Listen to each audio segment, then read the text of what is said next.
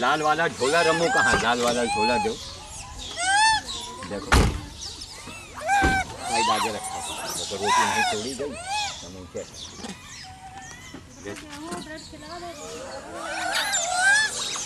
रोटी थोड़े है तुम लाओ। रोटी जगह बैठ जाइए ना। तो वही में खबा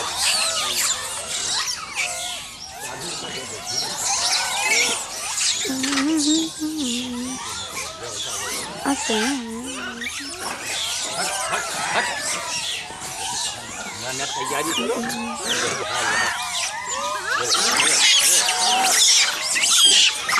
જોગી ના તોડીને જશે ને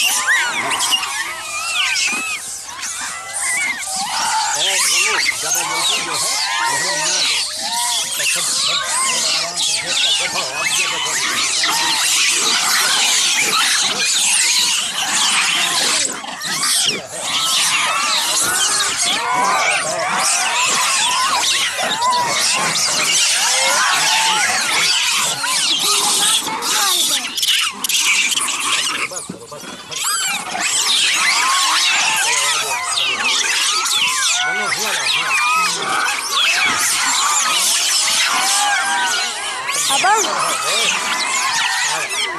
बनाते रहो लेकिन चलो